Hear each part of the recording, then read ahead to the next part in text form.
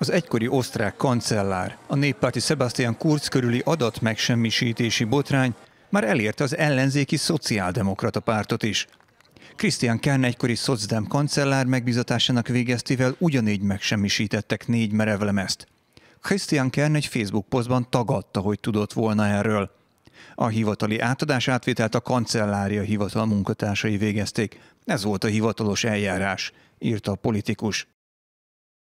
A Kronen Zeitung információja szerint a megsemmisített merevlemezek Kern hivatali előszobájából, a kancelláriából és az államtitkárságból származtak.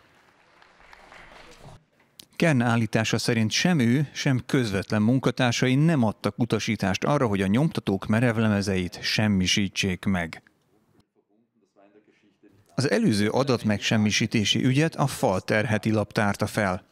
Néhány nappal az Ibiza ügy kipattanása után a néppárti kancellár egyik közvetlen munkatársa megsemmisítetett öt hivatali merevlemezt. A nyilvánosságra került ipari kamera felvételen az látszik, hogy Kurz közösségi média menedzsere háromszor is összezúzatja a merevlemezeket, majd a porrá zúzott törmeléket zacskóban magával viszi. A szeptember 29-én esedékes parlamenti választások előtt már két nagy osztrák párt is botrányba keveredett. Két hónap múlva kiderül, kinevet a végén.